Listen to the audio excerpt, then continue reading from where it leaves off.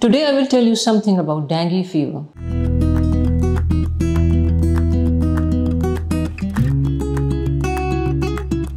My name is Dr. Lalarukh Burki and I am specialist in internal medicine in Fakeeh University Hospital.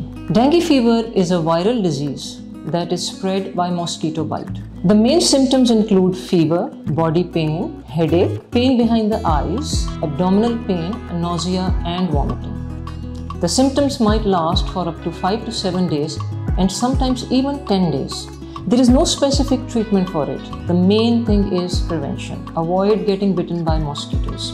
Wear completely covered clothing if there are mosquitoes in your house. Use mosquito repellents. Once you get the fever or the dengue fever, the treatment is only symptomatic.